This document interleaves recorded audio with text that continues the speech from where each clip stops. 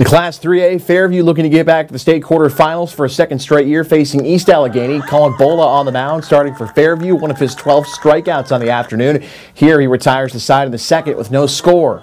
Later, trainer Janosco.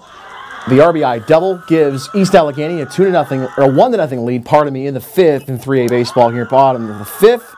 It's Adam Skelly driving in a pair on a double that gives the Tigers a 2 1 lead. Same frame, Vinny Campoli RBI ground groundout makes it 3 to 1, and that's the final as the Tigers get it done here against East Allegheny, winning it by a pair of runs. We made some great defensive plays today. Our second baseman, Austin Hawley, made some nice plays. Our first baseman, Caleb Zielinski, made some nice plays uh, in the seventh inning.